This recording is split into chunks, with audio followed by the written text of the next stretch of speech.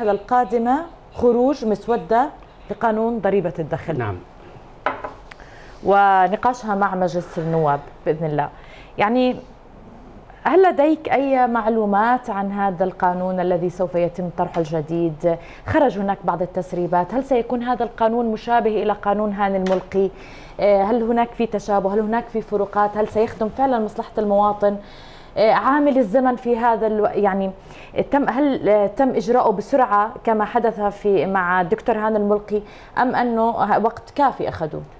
شكرا للسؤال اولا حكومة هاني الملقي آه، الحقيقة آه، أنا وجهة نظري وقعت مطب لأنه ما كان يجب أن يطرح مشروع قانون جديد لضريبة الدخل في الوقت اللي آه، عشرين في المية من اللازم يدفعوا الضريبة اللي بدفعوا منهم بس ثلاثة في المية من العشرين في المية واللي هذول هم دخولهم مرتفعة جدا وبيشتغلوا صناع وتجار كبار وأساتذة وأكاديميين كبار ومهندسين كبار نعم. وأطباء كبار إلى آخره.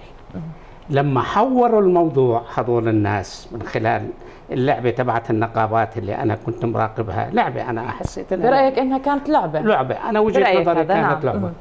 حولوها خذها مني. حولوها لعبة لأنه النقابيين لمصالحهم ومن لف لفهم هم أصلا ما بدفعوش من أقوال بعضهم إلي. تهرب ضريبي؟ ما بيدفعوش ضرائب من عشر سنين. بعضهم عليه خمسين ألف بعضهم سبعين ألف بعضهم 200 بعضهم مليون بعضهم كذا. خلينا ساكتين أنهم متهربين ضريبيا؟ وعندي أسمائهم على فكرة. دكتور أنت تقول أنهم متهربين ضريبيا. متهربين ضريبيا. نعم. الآن لما هم طرحوا هذا المشروع في زمن دولة هاني الملقي, هاني الملقي. نعم. هم طرحوه في ذهنهم نية سوداء إنه إحنا نمسح ما مضى ونبدأ من جديد ونعطي إعفاءات لكل الناس اللي تهربوا ونعمل قانون جديد.